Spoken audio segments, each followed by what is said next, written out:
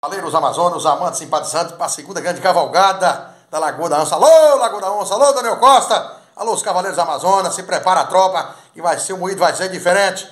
Grande cavalgada, segunda grande cavalgada da Lagoa da Onça, Gonambi, na Bahia, 18 e 19 de dezembro. E o show ficará por conta de Gleison Silva, acaba diferente diretamente de Palma de Monte Alto, Fabrício Mariatti, Daniel Santos Teclados. Não perca, viu?